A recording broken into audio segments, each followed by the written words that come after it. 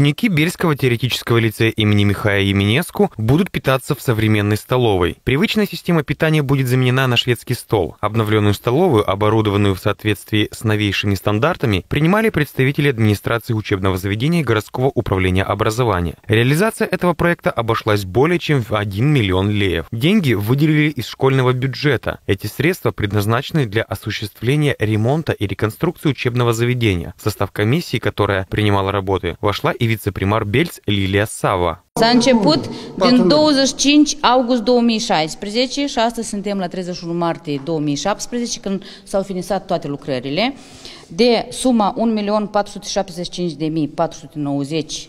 lei.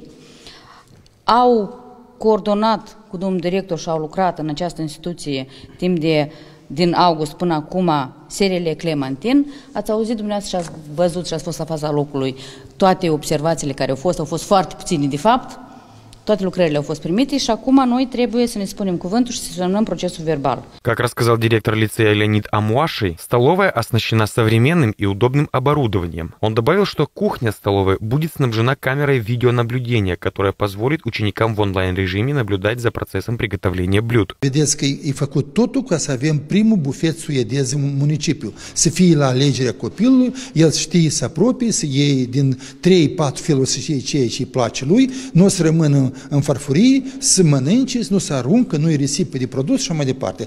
Asta este pus în, în bază. Și uh, cred că o să fie corect înțeles. Eu n-am instalat camere de luat vederi, n-am instalat camere de luat vederi. Toată școala e în camere. Sala toate sunt camere de luat vederi. Când am să văd cine o să fie aici, șefă, cine o să fie bucătar, am să încerc să-i conving că la bucătărie, unde spun în castrule, unde se vadă procesul tehnologic, o să fie instalată într-un colț o cameră, care o să fie accesibilă pentru toți. Și aici o să fie un monitor mare, e ca unde, unde se pregătește, ce se face. Ca omul să fie sigur că totul e.